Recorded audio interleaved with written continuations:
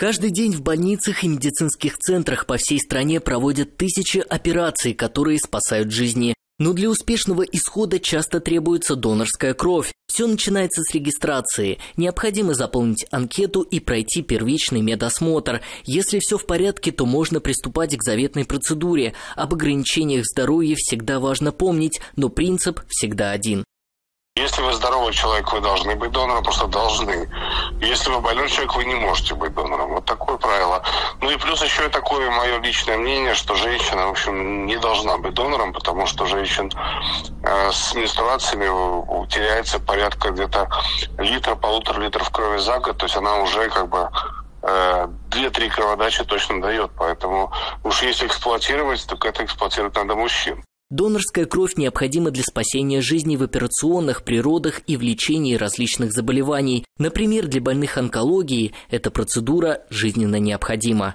Если вы хотите спасти больного с острым лейкозом, дать ему пожить хотя бы один месяц, то для этого должно быть использовано 60-70 доноров. То есть 60-70 человек должно сдать кровь, чтобы один больной прожил с острым лейкозом месяц. Сам процесс занимает около 10 минут. За это время жертвуется от 400 до 500 мл крови. Это стандартный объем, который безопасен для здорового человека. Многие люди все еще не решаются стать донорами, но существуют способы преодолеть внутренние барьеры. Тут, знаете, как, э, как у Брэнсона «берись делай». Это одна история. А другая история, когда страшно, но я всегда своим говорю, кто со мной ходит кровь сдавать, вы всегда можете найти себе некий маячок, за того зацепиться и вместе с ним пойти. То есть вас кто-то должен держать за руку. Я вот, собственно, так и делаю. То есть тот, кто боится сдавать, я беру их за руку, мы вместе идем, вместе сдаем, но они понимают, что это достаточно а, легко сделать.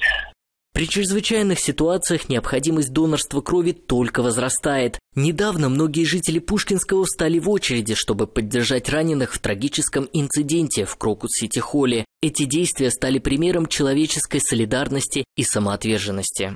Иван Чинаев, Мария Головачева, Анна Белова. Новости Большого округа.